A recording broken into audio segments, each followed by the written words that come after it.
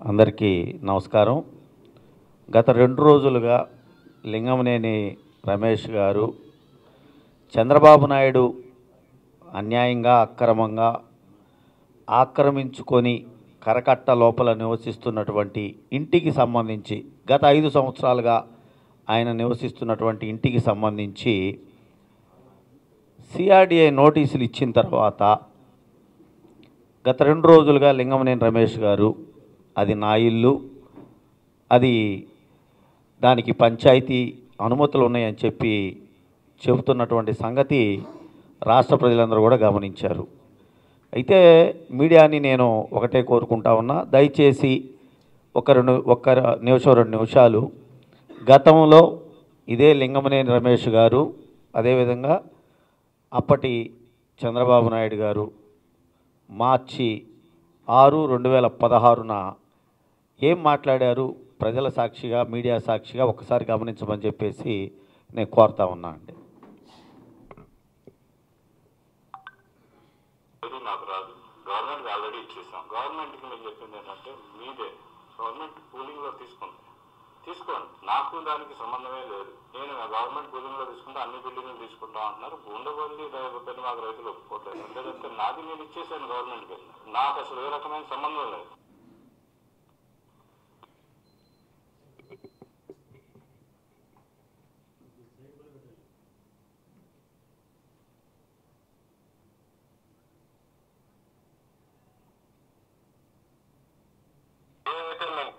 ఇచ్చామని దానికి ప్రతికూలంగా ఇల్లు ఇచ్చాడని.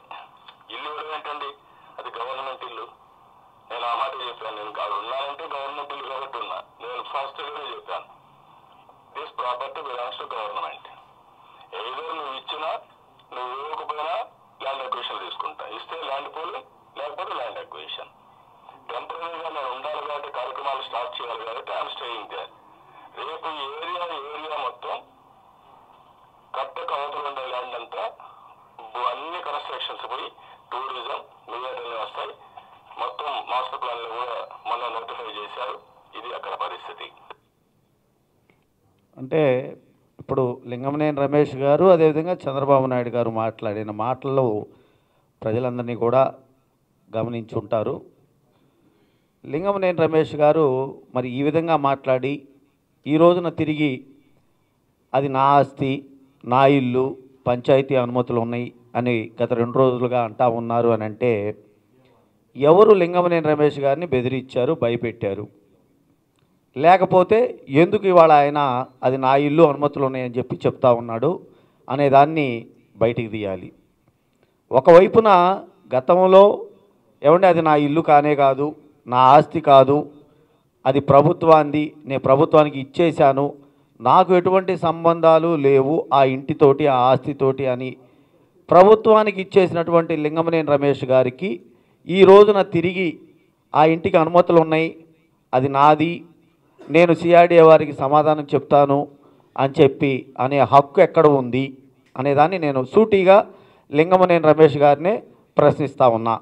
దయచేసి ఈరోజు నేను అడిగిన ఈ ప్రశ్నకి లింగమనేని రమేష్ గారు ప్రెస్ ముందుకు వచ్చి దీనికి సమాధానం చెప్పాలి. లేదా చెప్పండి.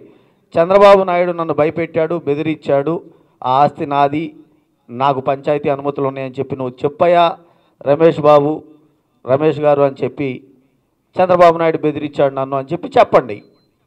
లేని పక్షంలో అది ప్రభుత్వాన్ని ప్రభుత్వ ఆస్తి సిఆర్డీఏ వాళ్ళు దాని మీద అది ఎలా చేయాలి ఏం చేయాలి అనేది చూసి ప్రభుత్వం నిర్ణయం తీసుకుంటుంది. కాబట్టి ఇక దీన్ని మా ఆస్తి అని చేసి ఇది మా ఆస్తి మా ఇల్లు అని క్లెయిమ్ చేసే పరిస్థితి లింగమనేని రమేష్ గారికి లేదని చెప్పి నేను చాలా స్పష్టంగా చెప్తా ఉన్నా.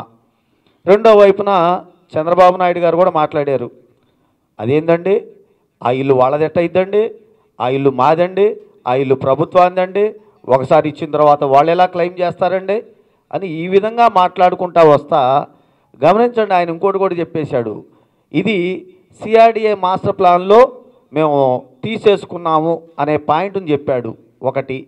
రెండవది కరకట్ట లోపల నదికి మధ్య ఖాళీ ప్రాంతంలో కట్టుకున్నటువంటి భవనాలు మొత్తం కూడా మేము తీసేసేస్తాము.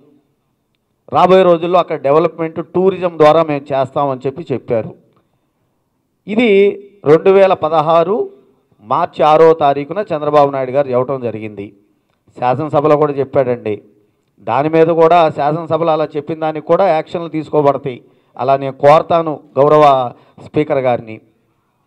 అంటే ఈ విధంగా మీడియా సాక్షిగా చంద్రబాబు నాయుడు లింగమనేని రమేష్ గారు గతంలో చెప్పి ఈ రోజున తనకి ఉన్నటువంటి మీడియా ద్వారా అనుకూలమైనటువంటి మీడియా ద్వారా చంద్రబాబు నాయుడు ఇప్పటికీ కూడా ప్రజల్ని తప్పుదారి పట్టిస్తూ ఉన్నాడు అని అంటే అసలు ఈ చంద్రబాబు నాయుడు గారిని ఏమనాలి ఏ విధంగా అర్థం చేసుకోవాలో ప్రజలే చెప్పాలని చెప్పి నేను కోరుకుంటా ఉన్నా. ఏమైనా నాకు నలభై సంవత్సరాల అనుభవం ఉంది నేను చాలా సీనియర్ పొలిటీషియన్ని ఈ దేశంలో ప్రధానమంత్రి కన్నా కూడా నేనే సీనియర్ని అని చెప్పుకున్నటువంటి చంద్రబాబు నాయుడు ఈ విధంగా ఇవాళ వ్యవస్థల్ని మేనేజ్ చేస్తా. తాను అధికారంలో ఉన్నప్పుడు ఒకవైపు ఒక రకంగా తనని అధికారంలోంచి ప్రజలు దించేసిన తర్వాత ఒక రకంగా మాట్లాడటం ధర్మమేనా అని అడుగుతా ఉన్నా నేను. అసలు చంద్రబాబు నాయుడు గారు మరి ముఖ్యమంత్రిగా ఆ రోజున ఉన్నప్పుడు ఆ ఇంట్లో ఉన్నాడు. ఇవాళ అధికారం నుంచి ప్రజలు దించేసేశారు. ఇవాళ నేను ఆ ఇంటిని ఖాళీ చేయాలి. ఇది ప్రభుత్వం ఆస్తి ప్రభుత్వానిది. ముఖ్యమంత్రిగా ఉన్నంతకాలం ప్రభుత్వం ముఖ్యమంత్రి గారిని చూసుకోవాలి కాబట్టి నేను దీన్ని ఖాళీ చేయాలి అనే కనీస జ్ఞానం కూడా లేకుండా ఆయన ఇంకా ప్రవర్తిస్తూ ఉన్నాడు అని అంటే అసలు ఆ మనిషిని ఏమనుకోవాలి? ఎంత అన్యాయంగా ఎంత దుర్మార్గంగా ఆయన ఈ విధంగా ప్రవర్తిస్తూ ఉన్నాడు అనేది గమనించమని చెప్పి నేను కోరుకుంటా ఉన్నా. చంద్రబాబు నాయుడు గారికి ఇంకోటి కూడా నేను గుర్తు చేస్తా ఉన్నా. ముప్పై మూడు వేల ఎకరాలని చెప్పి చెప్తా ఉన్నారు మీరు గతంలో మేము ల్యాండ్ పూలింగ్కి తీసుకుంది. ఆ ల్యాండ్ పూలింగ్కి తీసుకున్న రోజున భయపెట్టి బెదిరించి కేసులు పెట్టి రైతుల్ని కొట్టి కేసులు పెట్టి పోలీస్ స్టేషన్లో వాళ్ళని మీద అక్రమంగా పోలీసుల మీద ఒత్తిడి తీసుకొచ్చి వాళ్ళ చేత హింసించి చివరికి రైతన్న పండించినటువంటి పంటలను తగలబెట్టించి కూడా ఇంకా ఏం చేసావయ్యా చంద్రబాబు నాయుడు అని అంటే రైతులు ఎవరిని ఆ పూలింగ్కి ఇచ్చినటువంటి భూముల్లోకి ఎక్విజేషన్ చేసినటువంటి భూముల్లోకి కాలు కూడా పెట్టనీలా చంద్రబాబు నాయుడు. ఏమయ్యా? నీకు భయపడి ఎవరన్నా రైతాన్ని ఇచ్చినా నీకు సహకరించి రైతాన్ని ఇచ్చినా సెంటు రెండు సెంట్లు కాదయా ముప్పై మూడు వేల ఎకరాలే నువ్వే చెప్పావు. మరి అంత పొలం ఇచ్చినటువంటి రైతన్న తన గేదెలను మేపుకోవడానికో లేదంటే ఎక్కడన్నా ఏదన్నా చిన్న పనుండి ఆ పెరిగినటువంటి పిచ్చి మొక్కల్ని పొయ్యిలో పెట్టుకోవడానికి కట్టెలు కొట్టుకోవడానికో పోతే వాళ్ళ మీద కేసులు పెట్టియటం వాళ్ళని ఆ ఆ ప్రాంతాలకు రానియకుండా భయప్రాంతంలో చేశావే. వాళ్ళకొక న్యాయం నువ్వు ఈ రోజున అన్యాయంగా అక్రమంగా నివసిస్తా నువ్వు ఇవాళ ప్రభుత్వం జగన్మోహన్ రెడ్డి గారి ప్రభుత్వం ఒకవైపున ముఖ్యమంత్రిగా గౌరవ ముఖ్యమంత్రి జగన్మోహన్ రెడ్డి గారు ఒకవేళ ఏమైనా సంస్కరణలు జరగాలి అని అనుకుంటే అది ప్రభుత్వం ఒకవేళ తప్పులు చేసినా కూడా సంస్కరణలు ప్రభుత్వం వైపు నుంచే జరగాలని చెప్పేసి ఆయన పరిపాలన సాగిస్తూ ఉంటే వాళ్ళని ఇలాంటి లింగంనేని రమేష్ గారు లాంటి వ్యక్తులను అడ్డం పెట్టుకొని ఆ లింగంనేని రమేష్ గారిని కూడా భయపెట్టి బెదిరించి నువ్వు ఇవాళ మేము మీరు నోటీసులు ఇస్తే మేము వాటిని వాటిని చూస్తాము మా దగ్గర అనుమతులు ఉన్నాయని చెప్పి చెప్పటం అసలు ధర్మమా న్యాయమా చంద్రబాబు నాయుడు గారు అని అడుగుతా ఉన్నా నేను. అసలు ఆలోచన చెయ్యరా మీరు? అనుకోరా? మనస్సాక్షి లేదా అసలు మీకు? అరే మనం మనల్ని ప్రజలు చీకొట్టారే. నన్ను నన్ను ఏదో నేను నాకు అనుభవం ఉంది. నేను నేను నన్ను నమ్మండి అయ్యా అని అంటే పొర గతంలో పొరపాట్లు చేస్తేనే కదా నన్ను నమ్మండి అని బతిమలాడుకునేది నువ్వు. అలా బతిమలాడుకుంటే ప్రజలు ఏదో నమ్మి రెండు వేల పద్నాలుగులో ఆరు వందల వాగ్దానాలు చేశాడు. కనీసం పది శాతం అన్నా ఒక అరవై అన్నా తీర్చకపోతాడని ఒక నమ్మకంతో వేస్తే కనీసం ఒక్కటంటే ఒక్కటి కూడా నెరవేర్చని పక్షంలో నిన్ను పైగా లక్షల కోట్ల అవినీతి చేస్తే దోచుకుంటే రాష్ట్ర సంపత్తుని దించేశారే. ఇప్పటికైనా నేను బుద్ధి తెచ్చుకుందామే పొరపాట్లు సరిదిద్దుకుందామే అనే జ్ఞానం కూడా లేకుండా చంద్రబాబు నాయుడు గారు ఇవాళ తిరిగి మళ్ళా లింగమనేని రమేష్ గారు లాంటి వ్యక్తుల్ని అడ్డం పెట్టుకొని నేను ఆ ఇల్లు ఖాళీ చేయను అనే ధోరణిలో ఉన్నాడు అని అంటే మాత్రం అది తప్పు చంద్రబాబు నాయుడు గారు. దయచేసి ఇవాళకైనా సరే నువ్వు మీ కుటుంబ సభ్యులందరూ కూర్చొని మాట్లాడుకొని ఇక మన పని అయిపోయింది. మనం చేసిన తప్పులు పొరపాట్లన్నిటికీ కూడా శిక్ష వేశారు ఆంధ్ర రాష్ట్ర ప్రజలు. ఇక ఈ తప్పులు మనం కంటిన్యూ చేయొద్దు. మనం సరిదిద్దుకొని మనం పని చేసుకుందాం రాజకీయాల్లో అని చెప్పేసి సద్బుద్ధితోటి మిమ్మల్ని ముందుకు రమ్మని చెప్పేసి కోరుకుంటా ఉన్నాను చంద్రబాబు నాయుడు గారు. అంతేగాని ఇష్టం వచ్చినప్పుడు అధికారంలో ఉన్నప్పుడు ఒక రకంగా అధికారంలో లేనప్పుడు ఒక రకంగా మీరు ప్రవర్తించొద్దు అని చెప్పి కోరుకుంటా ఉన్నా. ఇప్పటికైనా మీరు ఒక అర సెంటు అన్నా కొనుక్కోండి సార్. లేదా ఒక సెంటు సెంటు భూమిలో కూడా ఇవాళ పేదలు ఇల్లు కట్టుకొని బతుకుతూ ఉన్నారు. మీ దగ్గర డబ్బు లేకపోతే నేను ఇస్తారండి నేను ఇస్తారండి సెంటు భూమి కొనుక్కోండి. ఎందుకంటే మీరు చాలా పేదోళ్ళు కదా. సో సెంటు భూమి కొనుక్కొని ఇల్లు కట్టుకోవాల్సినటువంటి జ్ఞానం కూడా లేకుండా మీరు ఈ రోజున ఇంకా మనం దాచుకుందాం దోచుకుందాము ఇంకా ఆక్రమించుకుందాం అనే రీతిని మాత్రం దయచేసి చేయొద్దని చెప్పేసి చంద్రబాబు నాయుడు గారిని నేను సవినయంగా కోరుకుంటున్నానండి. ఇకనైనా సరే లింగమనేని రమేష్ గారు లాంటి పెద్దలు తప్పు తెలుసుకొని పొరపాట్లు తెలుసుకొని మీరు చంద్రబాబు నాయుడు లాంటి వ్యక్తులు మీ మీద ఒత్తిడి తెచ్చినా మీరు కూడా ఆయనకి చెప్పండి రమేష్ గారు. అయ్యా ఇక ఇక నా చేత ఇంకా అబద్ధాలు చెప్పించబాకండి సార్. నన్ను నన్ను ఇక భయపెట్టబాకండి సార్. నా మా నన్ను నన్ను బతకనియండి. మమ్మల్ని వదిలిపెట్టేయండి. మేము ఇప్పటికే ఐజేఎం గాయ ఐజేఎం వాళ్ళతోటి మేము చేసినవన్నీ లొసుగులన్నీ బయటకు వస్తున్నాయి. ఇలాంటి మళ్ళీ ఇంకా మా మీద ఇంకా మరీ ఎక్కువగా చేయబాకండి సార్ అని చెప్పేసి చంద్రబాబు నాయుడు గారికి చెప్పమని చెప్పి నేను లింగమనేని రమేష్ గారిని కూడా కోరుకుంటా ఉన్నా. ఇంత జరిగినా కూడా ఒకటి గమనించండి.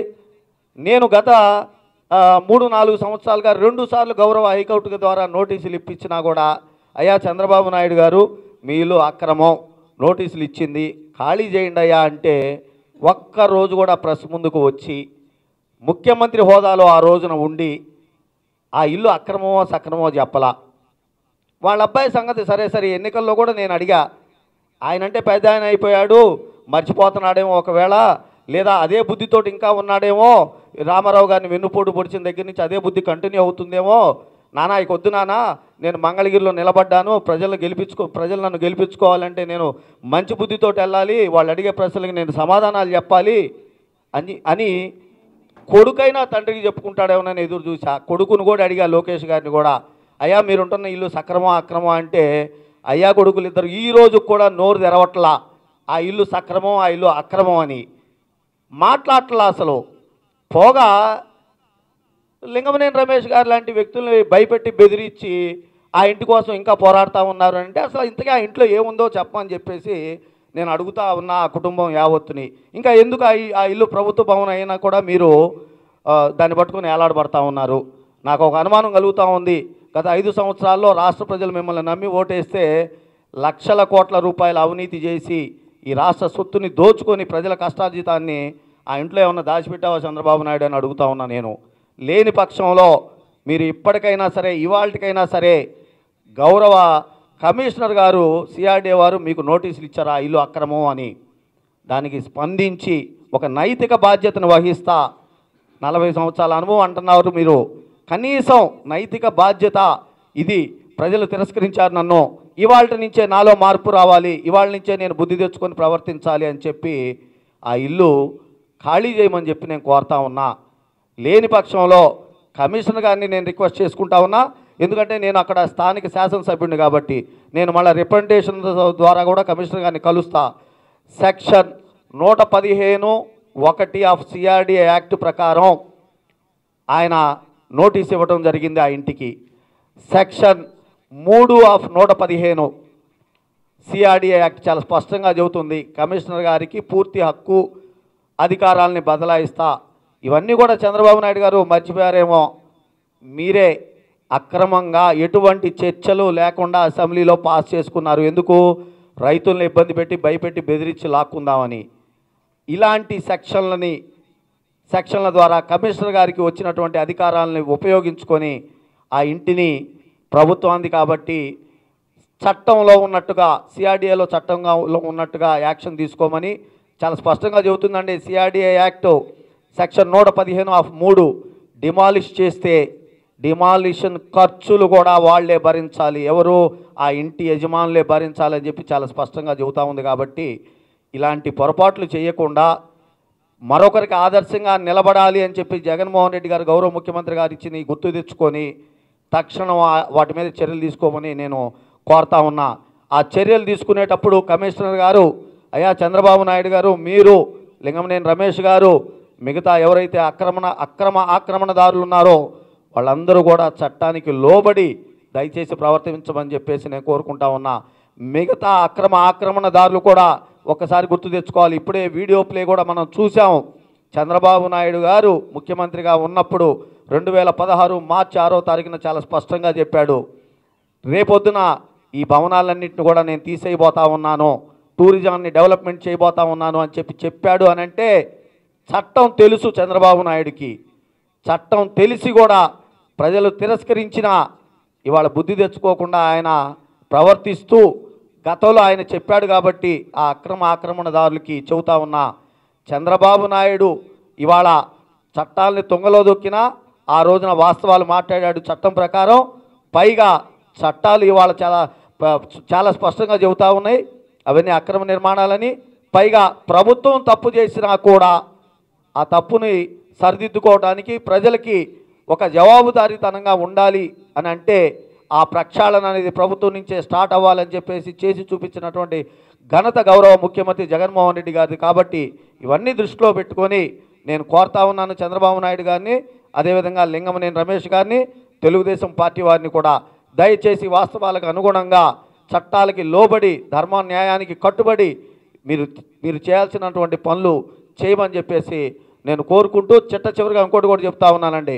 నేను ఒక వారం పది పది పదిహేను రోజుల క్రితం అనుకుంటా నేను అప్లై చేసుకున్న గౌరవ స్పీకర్ గారికి ఏమని చంద్రబాబు నాయుడు గారు గత ఐదు సంవత్సరాల కాలంలో ఇంకా కొంతమంది పేర్లు కూడా ఇచ్చానండి. ఏవేమి లబ్ధి పొందారు చట్టపరంగా.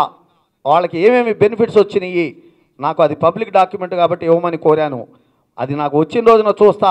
ఎందుకంటే ముఖ్యమంత్రి గారికి నివాసం చూపించాల్సినటువంటి బాధ్యత ప్రభుత్వాందే ఒకవేళ అలాంటి బాధ్యత ప్రకారం ఆ ఇల్లు వచ్చి ఉంటే హెచ్ఆర్ఏ కింద ఏమన్నా డబ్బులు ఈయన ఏమన్నా తీసుకున్నాడా?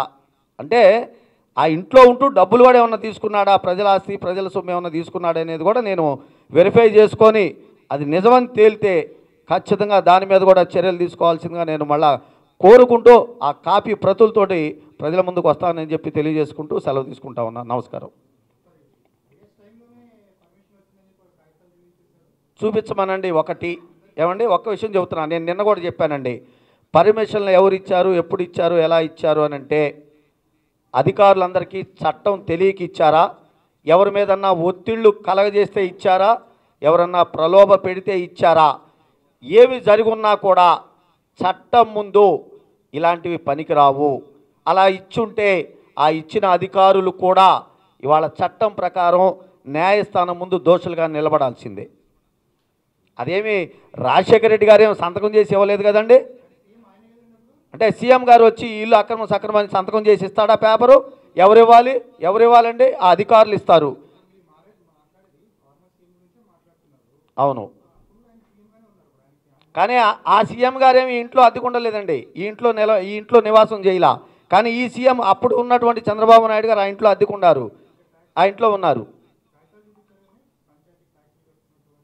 అదే అవన్నీ తీసుకురమ్మంటున్నాము. మరి అవన్నీ ఇవాళ చెప్తున్నారే మా దగ్గర ఉన్నాయని రె- రెండు వేల పదిహేను ఫిబ్రవరి ఆరో తారీఖున గౌరవ తహసీల్దారు తాడేపల్లి వారు ఇచ్చినప్పుడు నోటీసులు అప్పుడు ఎందుకు చూపించలేదు ఈ Lingamaneni Ramesh? Point number one point number two గౌరవ హైకోర్టు ద్వారా నేను రెండు సార్లు నోటీసులు ఇప్పించినప్పుడు ఇదే చంద్రబాబు నాయుడికి మిగతా యాభై ఏడు మంది రెస్పాండెంట్స్కి కాదండి ఇవన్నిటికీ మేము సక్రమంగా మేము పర్మిషన్లు తెచ్చుకొనే కట్టుకున్నామని చెప్పి ఆ రోజున ఎందుకు? ఆ రోజు నుంచి ఈ రోజు వరకు కూడా గత మూడు సంవత్సరాలుగా వాళ్ళు ఎందుకు ఆ సాక్ష్యాధారాలతో అఫిడవిట్లు వేయలేదు? అందుకే నేను నిన్న చెప్పా అసలు అవన్నీ ఎవరు ఇచ్చారు? ఎప్పుడు ఇచ్చారు? ఎలా వచ్చినాయి అనేది పరిశీలన చేయాల్సిందిగా నేను కోరానండి నిన్న. బహుశా మీరు లేరేమో.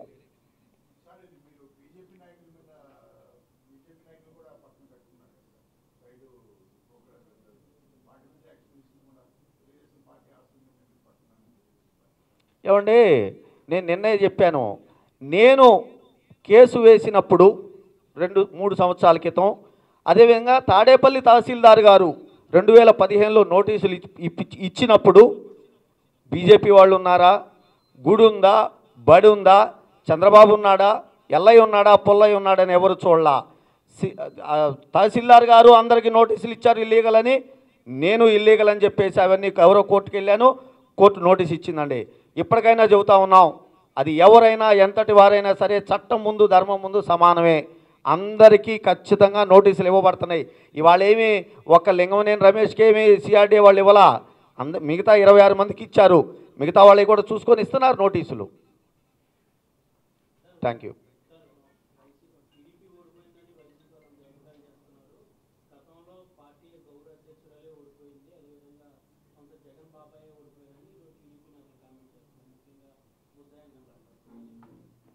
బుద్ధాయంకన్న గారు ఆ విధంగా కామెంట్ చేశారని మీరు అంటున్నారు. ఒకవేళ అదే నిజమైతే విజయమ్మ గారు ఓడిపోయారు ఇంకొకళ్ళు ఓడిపోయారు అని చెప్పి అన్నారు అని అంటే నేను ఒకటే చెప్తా ఉన్నా బుద్ధ వెంకన్న గారికి.